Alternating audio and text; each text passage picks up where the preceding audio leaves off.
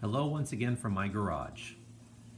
As you saw from the title of this video, this video is about changing the oil on an F30 328i BMW with the N20 motor. Now, you're saying to yourself, another oil change video? Really? Well, yes, another oil change video, and here's why.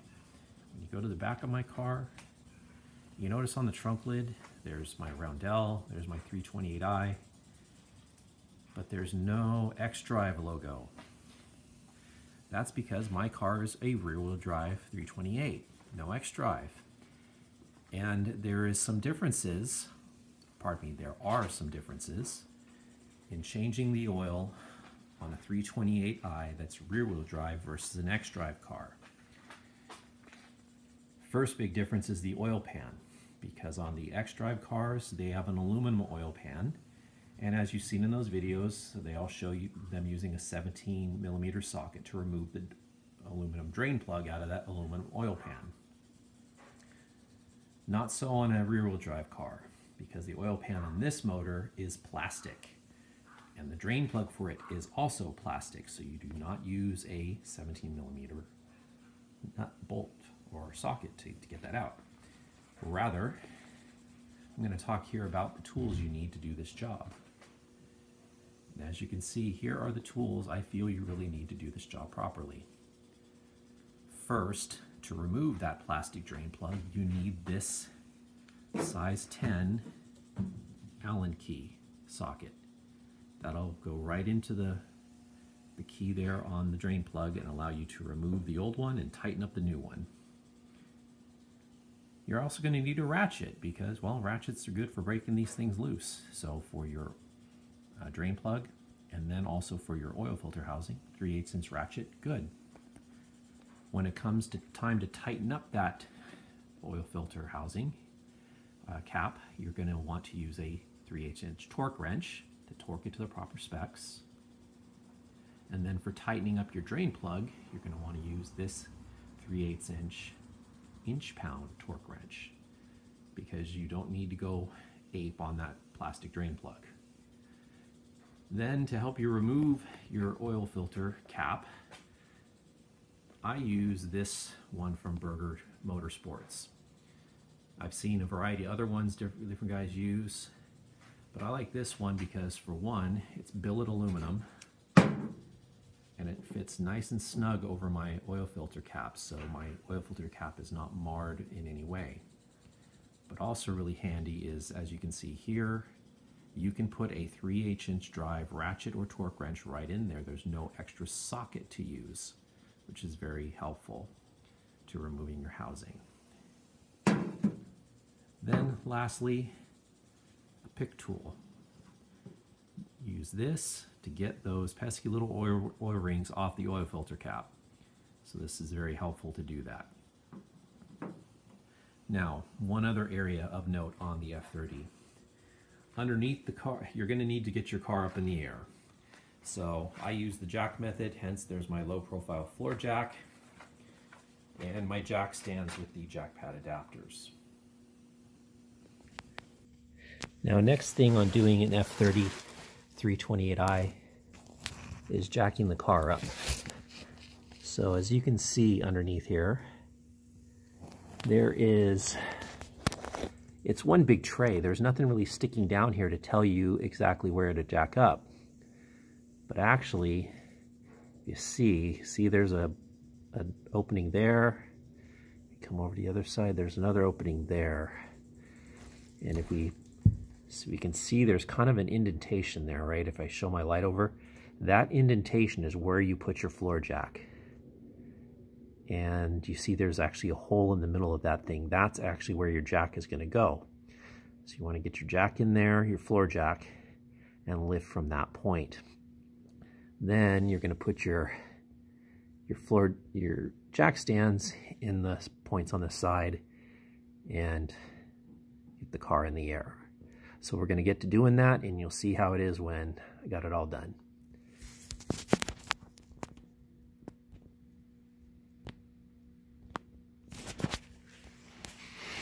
So here I go with the jack underneath the car.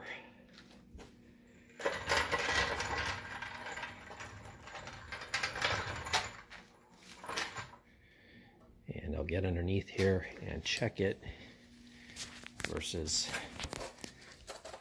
that indentation underneath there.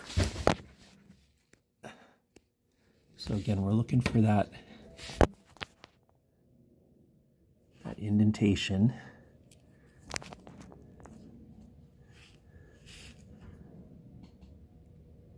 See that right there. That's where we're going to get the head of our jack. Okay, so now you can see I've got my jack in that indentation right over the hole I showed earlier. And we're just going to lift.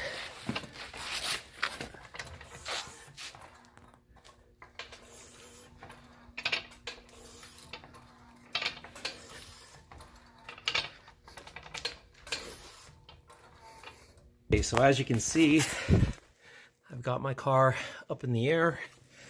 Now I'm getting it lowered onto my floor, my jack stands, and I see the jack pad adapters are lined up with the provisions in the car.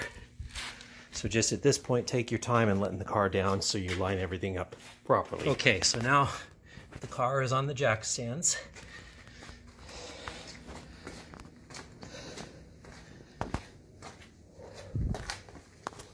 And so there they are. They're nice and in there, not messing up the, the plastic pieces BMW puts under there.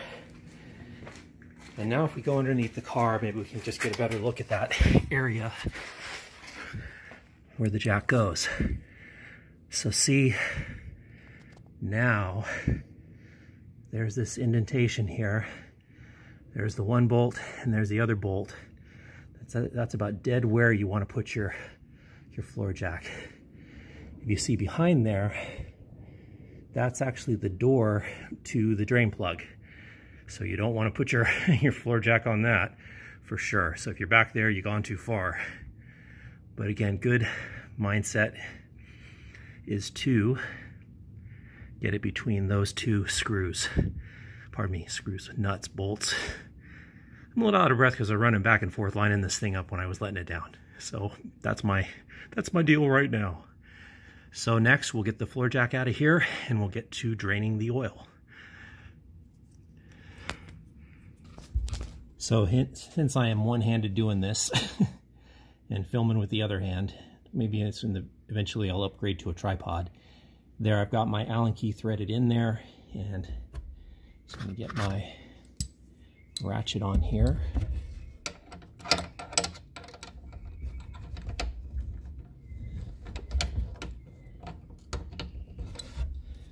Eh, time to switch hands.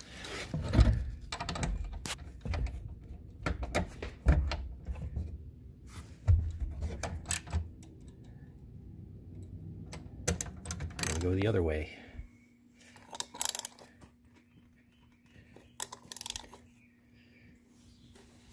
There we go.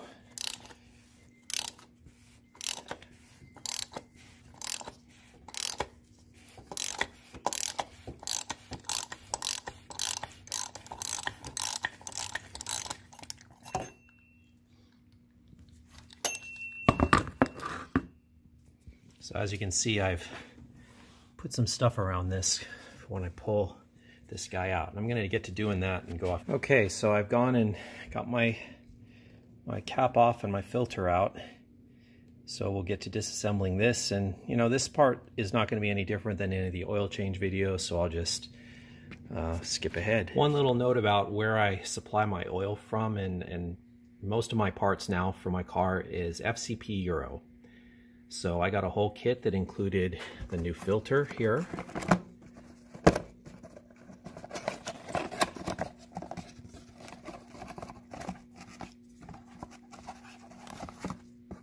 Some new filter, as well as O-rings and the new drain plug. So very helpful there. As well as a nice big jug of 5W30 liquid moly, pardon me, liquid moly that I'm going to put in the car. Uh, this oil is approved by BMW. If you go on their website, they have a letter showing that it's approved by BMW, so it's safe to run in your car. And for price-wise, normally this whole kit runs about $43. But at the end, I'll get to why maybe you want to consider doing this yourself. But at least for now, let's get to swapping the new stuff Okay, on. so I've skipped ahead and I've got my old O-rings off, new O-rings affixed to my oil filter housing, the new filter installed. One little extra note about FCP Euro, why I'm using them. Besides, you know, they're fair prices, they use a lifetime warranty. So I'm going to be able to send this filter and those O-rings back and they'll give me a credit towards my last order because my last oil change was through them. So pretty cool. I'm looking forward to seeing how that works out. And in the meantime, I'm going to get the top here button back up and then I'll go back underneath and we'll go a little more in detail on tightening the new plastic drain plug. Alrighty, see you in a bit. Okay, so we're now going to tighten our oil filter cover back down. Now this gets torqued to 18 foot-pounds, so hence I got one note too. What's helpful to have is I have uh, a Bentley service manual. So for all those torques, I got them right here to do the oil filter and the drain plug.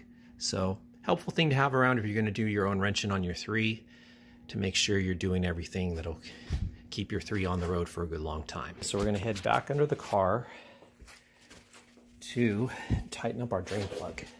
Might help. Let's try not to chip over stuff. Might help to have the new one with us. Ta-da-da!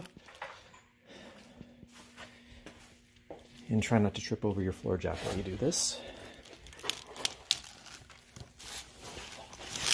So it looks like our our draining hath ended. And we're gonna get our flashlight out here, get a good look at this once again. So there you are. A little bit of drippage going on here.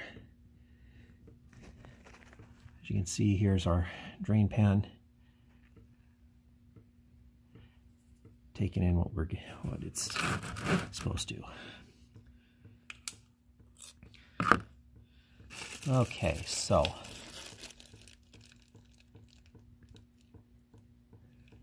maybe I'll just let this drip a little bit longer. Okay, here I am back up underneath the car. All drippage appears to have stopped, so let's get her button back up underneath here. And as you can see here, I have my Newton meter torque wrench out here that is set to about eight foot-pounds and that, or pardon me, eight Newton meters. That's all it takes to tighten this drain plug.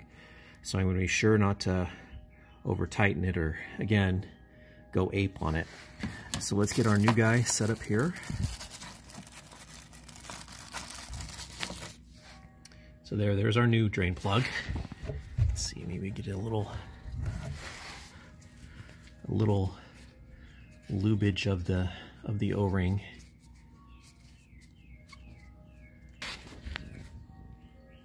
Okay so here we go. Gonna get that threaded back in.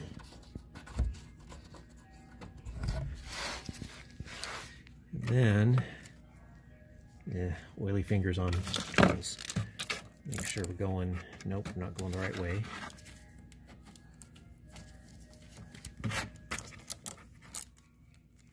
Okay.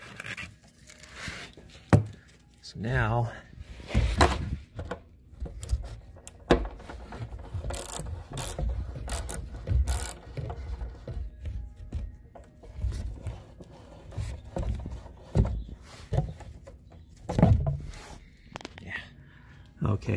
now that wrench is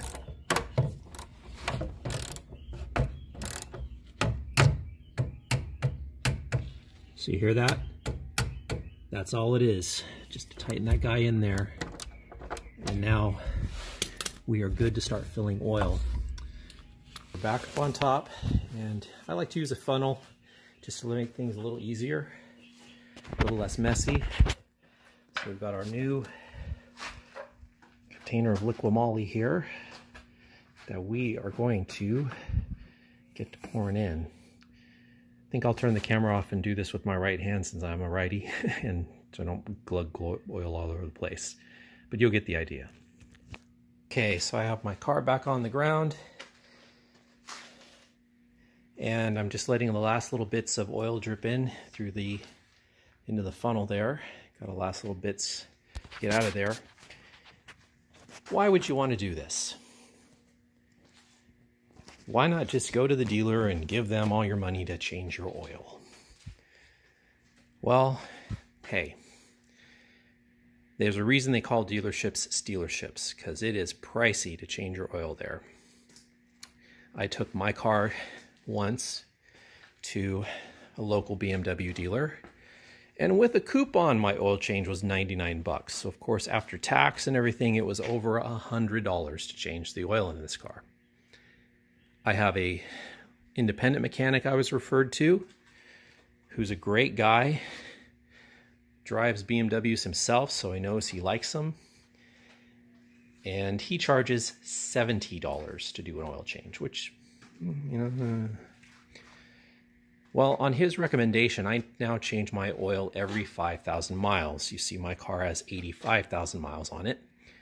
And he's, his opinion is that the factory maintenance or factory interval for oil change is not close enough. And since I love my car, and especially since my F30 has, oop, you got a glimpse of me, that, the manual transmission, I am not so eager to see this car go away since the new G20s do not have a manual transmission. So, if you factor in doing $70 every 5,000 miles, that could get pricey. This kit I got from FCP Euro $43. And again, included everything I showed you earlier. So at the very least, I'm saving $25, $26. Oh, but this particular kit I got for 34 on sale, so they're more. But versus the dealership, I'm saving over 50 bucks every time I change the oil myself. So if you like to wrench a little bit, if you got some tools, change your own oil. It's easy it really is easy. Don't let the BMW mark intimidate you. Just make sure, like for this car, rear-wheel drive, you've got your 10 Allen key to take the drain plug out. You got some torque wrenches to torque things properly, and you'll do just fine. If you like the video, give me a thumbs up. And until next time, wrench on your own BMWs.